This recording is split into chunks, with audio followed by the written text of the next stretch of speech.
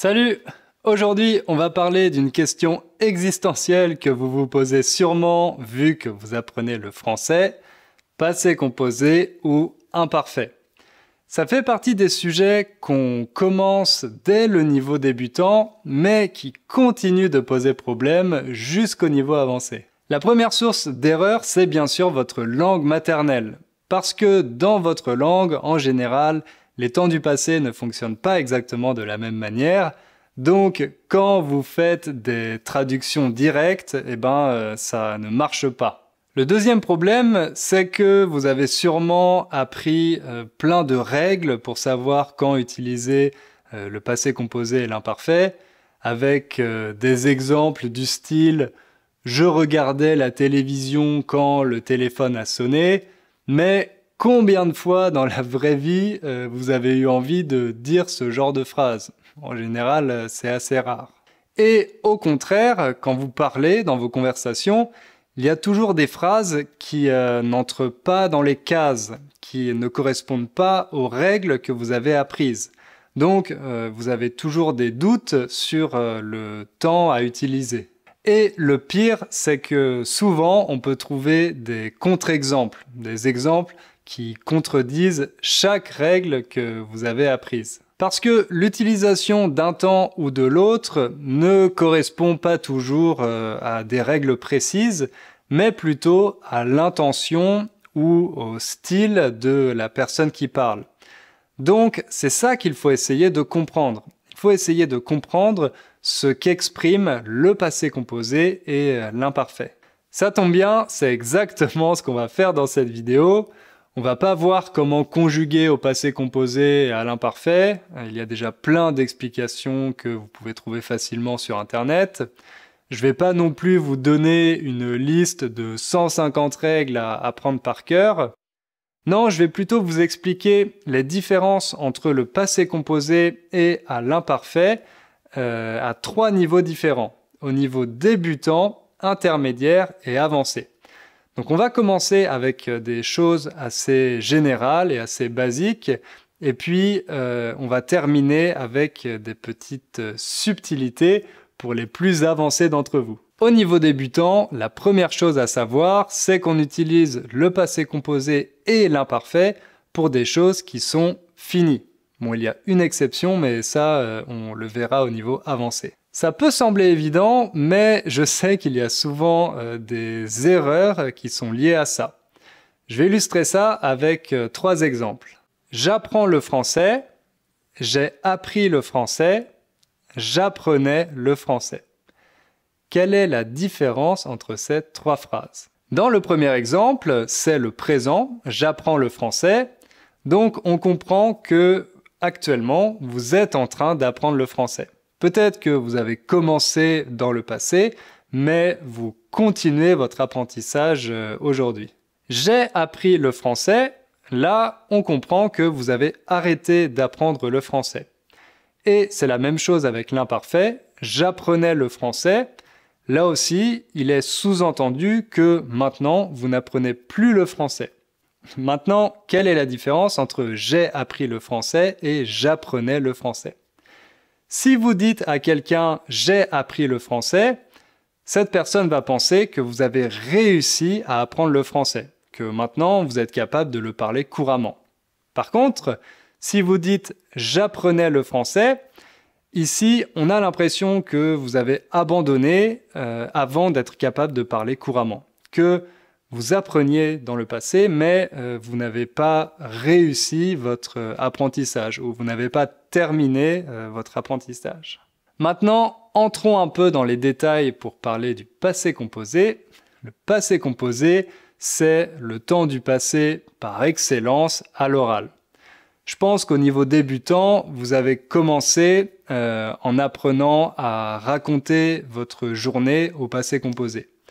Je me suis levé à 7 heures, j'ai pris mon petit déjeuner, j'ai pris ma douche, je me suis habillé et euh, je suis allé au travail à 8h30. Là, vous voyez, pour une suite d'événements et euh, d'actions concrètes, on utilise le passé composé. Un autre exemple, pour raconter vos vacances, L'été dernier, je suis allé en Italie, j'ai visité le musée des offices à Florence, euh, je suis resté quelques jours dans un petit hôtel en Toscane et pour finir, je suis allé à Rome. C'est la même chose si vous passez un entretien d'embauche, autrement dit si vous avez une discussion avec euh, un employeur pour euh, rejoindre une entreprise. Quand vous parlez de vos différentes expériences, vous allez plutôt utiliser le passé composé. J'ai fini mes études en 2012, j'ai commencé à travailler euh, pour euh, l'entreprise X l'année suivante, j'ai géré différents projets. Ensuite, deux ans plus tard, j'ai quitté l'entreprise pour commencer euh, une nouvelle mission à l'étranger, etc. Donc vous voyez, le passé composé, c'est un temps qu'on utilise pour lister des événements ou des actions sans entrer dans les détails pour euh, les évoquer de manière assez directe. Au contraire, quand vous voulez décrire une situation ou une période passée, là vous allez plutôt utiliser l'imparfait. Par exemple, quand j'étais étudiant à Londres, j'habitais dans une grande maison avec trois amis, on avait un petit jardin, le week-end, on visitait des musées pendant la journée et le soir, on visitait plutôt des clubs etc. Là, vous voyez que je ne parle pas d'un événement en particulier, mais que je fais plutôt la description d'une situation passée. Euh, je décris cette situation dans son ensemble. Et on utilise aussi l'imparfait pour parler d'une habitude passée, une habitude qu'on avait avant et qu'on n'a plus maintenant. Par exemple, avant le Covid, j'allais régulièrement à la salle de sport. Là, j'utilise l'imparfait, j'allais, j'allais régulièrement. Donc on comprend que j'avais cette habitude avant, avant la pandémie, mais maintenant c'est plus le cas. Maintenant, je vais plus à la salle de sport régulièrement parce que les salles de sport sont fermées. Donc, pour résumer ce premier niveau, le niveau débutant, on utilise le passé composé pour parler d'événements ou euh, d'actions concrètes dans le passé, et l'imparfait plutôt pour des situations, des périodes de notre vie ou euh, des habitudes passées qu'on n'a plus maintenant. Au niveau intermédiaire, vous avez appris que malheureusement, on doit souvent utiliser le passé composé et l'imparfait ensemble dans une même phrase. En fait, c'est assez rare d'utiliser seulement un temps ou l'autre. Comment ça fonctionne? Eh bien, en général, on utilise l'imparfait pour décrire le contexte et le passé composé pour euh, l'action ou euh, l'événement principal. Par exemple, le week-end dernier, il faisait beau, donc je suis allé faire du roller dans un parc.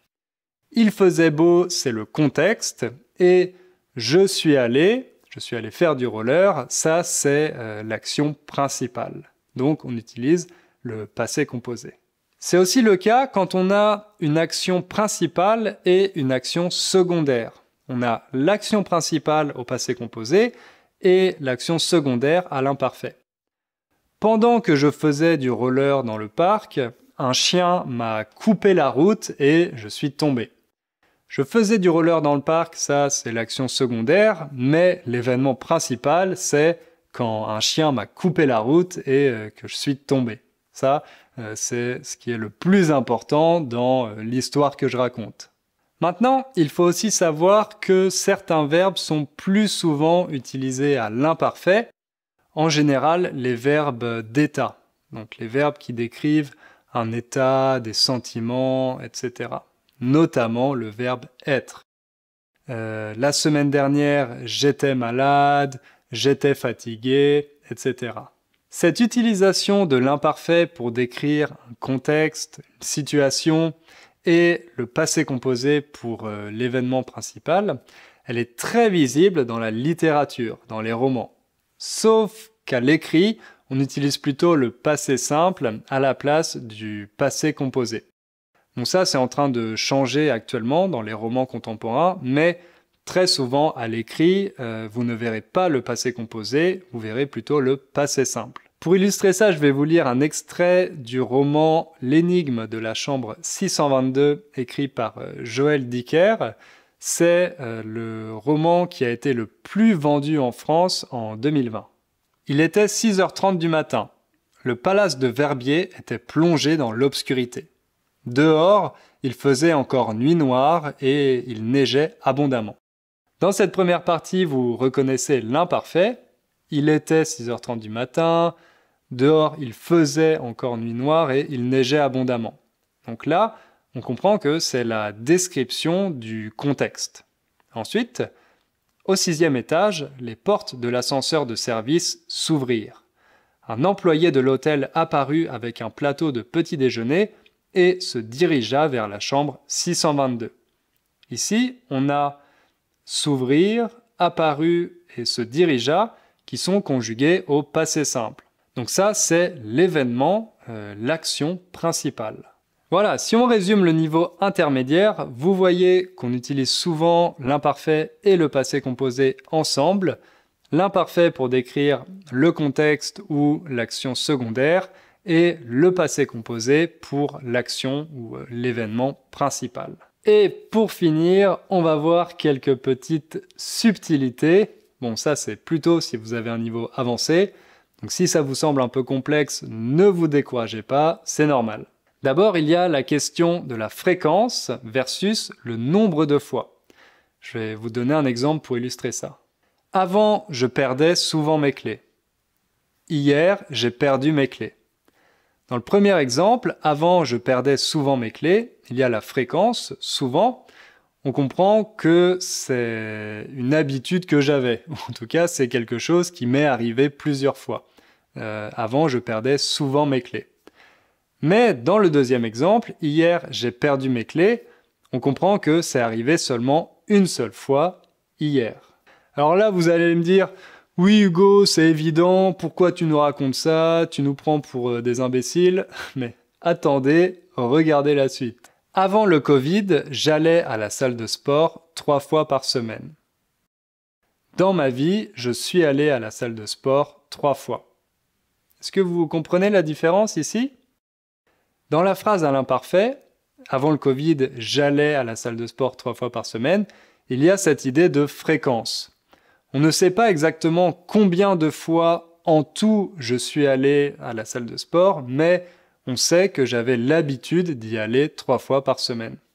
Par contre, dans l'exemple au passé composé, dans ma vie, je suis allé à la salle de sport trois fois. On comprend que trois fois, c'est pas une fréquence, mais c'est euh, le nombre total de fois. En tout, dans ma vie, je suis allé seulement trois fois à la salle de sport. Un autre exemple, comme euh, l'euro de foot a commencé, dans les années 80, l'équipe de France perdait un match sur deux. Là aussi, c'est une fréquence, un match sur deux. Autrement dit, l'équipe de France perdait la moitié de ses matchs. Versus, l'équipe de France a gagné deux fois la Coupe du Monde. Bien sûr, ici, je parle de l'équipe de France de foot. Là, c'est le passé composé, donc on comprend que depuis la création de l'équipe de France, dans toute son existence, l'équipe de France a gagné deux fois la Coupe du Monde. C'est le nombre total euh, de fois où elle a remporté la Coupe du Monde. Donc vous voyez, ici avec l'imparfait, on a plutôt l'idée de fréquence, de répétition, alors qu'au passé composé, c'est euh, un bilan, c'est le nombre total de fois où un événement s'est produit. Et cette distinction, on la retrouve avec toujours et jamais. Faites bien attention à ça parce que je sais que vous faites souvent des erreurs avec toujours et jamais. Alors regardez ces exemples. Avant, je voulais toujours être le meilleur. J'ai toujours voulu être le meilleur. Quelle est la différence de sens entre ces deux phrases? Avant, je voulais toujours être le meilleur, ça veut dire que maintenant, ce n'est plus le cas. C'est une habitude que j'avais avant. Avant, à chaque euh, compétition ou à chaque occasion, j'essayais d'être le meilleur, et puis après j'ai arrêté. Par contre, au passé composé, j'ai toujours voulu être le meilleur. Ça veut dire que ça a commencé il y a un certain temps, ça a commencé dans le passé, mais c'est toujours vrai maintenant. Maintenant, j'ai toujours cette tendance, j'ai toujours cette envie d'être systématiquement le meilleur. C'est pareil avec jamais. Avant je ne regardais jamais de séries, là on comprend que ça a changé. Avant je regardais jamais de séries, sous-entendu, maintenant j'en regarde. Par contre, je n'ai jamais regardé de séries au passé composé, c'est toujours vrai maintenant. Dans toute ma vie, je n'ai jamais regardé de séries. Bon, je ne sais pas s'il y a quelqu'un qui peut dire ça, mais voilà, c'est l'exemple auquel j'ai pensé. Je n'ai jamais regardé de série euh, de toute ma vie. Retenez bien ça, quand on utilise toujours et jamais avec le passé composé, ça veut dire que c'est toujours vrai maintenant, c'est toujours vrai au moment où on parle. Et enfin, la dernière petite subtilité, c'est la distinction entre une durée définie et indéfinie. Regardez cet exemple. En 2012, je vivais à Bordeaux. En 2012, j'ai vécu à Bordeaux. Ici, quelle est la différence de sens à votre avis? Dans la phrase à l'imparfait, en 2012, je vivais à Bordeaux, on ne sait pas exactement quand ça a commencé. C'est pas très précis. On sait simplement que l'année 2012, j'étais à Bordeaux, je vivais à Bordeaux. Mais peut-être que je vivais déjà à Bordeaux en 2011, en 2010, etc. On ne sait pas, c'est pas précis. Par contre, en 2012, j'ai vécu à Bordeaux. Là, on sous-entend que j'ai vécu à Bordeaux seulement cette année-là, seulement en 2012. C'est une durée définie.